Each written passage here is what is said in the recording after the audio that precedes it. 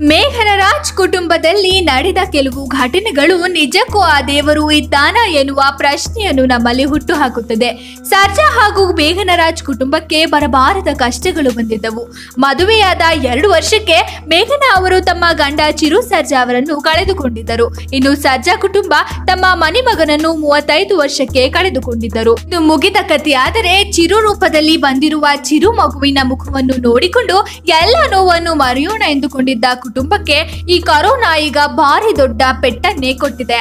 ಇದೀಗ ಇಡೀ ಕುಟುಂಬಕ್ಕೆ ಕರೋನಾ ತಗುಲಿ ಮೂರು ದಿನವಾಗಿದ್ದು, ಮೂರು ದಿನಗಳ ನಂತರ ಕೊರೋನಾ ಬಂದಿರುವ ಮೇಘನರಾಜ್ ಮತ್ತು ಅವರ ಮಗುವಿನ ಪರಿಸ್ಥಿತಿ ಗೊತ್ತಾದ್ರೆ ನಿಮಗೆಲ್ಲ ನಿಜಕ್ಕೂ ಶಾಕ್ ಆಗುತ್ತೆ.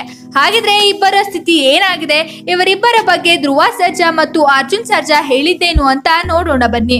ನೋಡುವ ಮುನ್ನ ಈ ಪೂರ್ತಿ ಕುಟುಂಬಕ್ಕೆ ಏನೂ ಆಗದೆ ಎಲ್ಲರೂ ಹುಷಾರಾಗಿ ಮತ್ತೆ ಮನೆ ಸೇರಬೇಕು ಅಂತ ನೀವು ಕೂಡ ಬಯಸೋದಾದ್ರೆ ಈಗಲೇ ಈ ವಿಡಿಯೋನ ಲೈಕ್ ಮಾಡಿ.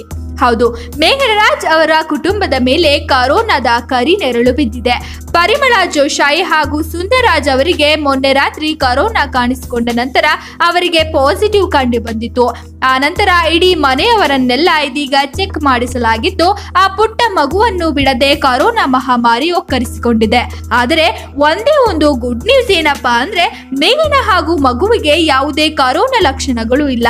ಆದರೆ ಪಾಸಿಟಿವ್ ಮಾತ್ರ ಕಂಡು ಬಂದಿದೆ. ತಂದೆ ಸುಂದರ್ ರಾಜ್ ಮತ್ತು ತಾಯಿ ಪ್ರಮೀಳ ಜೋಶಾಯಿ ಇದೀಗ ಆಸ್ಪತ್ರೆಯಲ್ಲಿ ಚಿಕಿತ್ಸೆ ಪಡೆಯುತ್ತಿದ್ದರೆ ಮೇಘನಾ ಮತ್ತು ಮಗು ಮನೆಯಲ್ಲೇ ಐಸೋಲೇಟ್ ಆಗಿದ್ದಾರೆ.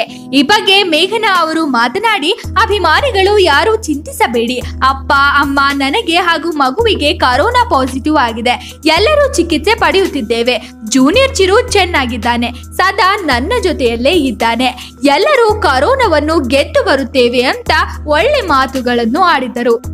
ಈಗ ಅರ್ಜುನ್ ಸರ್ಜಾ ಹಾಗೂ ಧ್ರುವ ಸರ್ಜಾ ಅವರು ಮಾತನಾಡಿ, ನಮ್ಮ ಕುಟುಂಬದ ಮೇಲೆ ಯಾಕೆ ಆ ದೇವರ ಕಣ್ಣು ಬಿದ್ದಿದೆಯೋ ಅಂತ ಗೊತ್ತಿಲ್ಲ.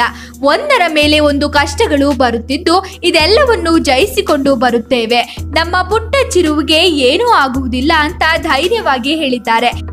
ಇದೀಗ ಕೊರೋನಾ ಬಂದು ಮೂರು ದಿನಗಳಾಗಿದ್ದು, ತಾಯಿ ಮಗು ಆರೋಗ್ಯವಾಗಿಯೇ ಇದ್ದಾರೆ. ಆದರೂ ಕೂಡ ಈ ಕೊರೋನಾ ನೆಗೆಟಿವ್ ಆಗುವವರೆಗೂ ಎಲ್ಲರಿಗೂ ಭಯ ಇದ್ದೇ ಇರುತ್ತದೆ ಅಲ್ಲವಾ? ಈ ಬಗ್ಗೆ ನೀವೇನಂತೀರಾ? ನಿಮ್ಮ ಅನಿಸಿಕೆಗಳನ್ನ ಕಮೆಂಟ್ ಮಾಡಿ ತಿಳಿಸಿ.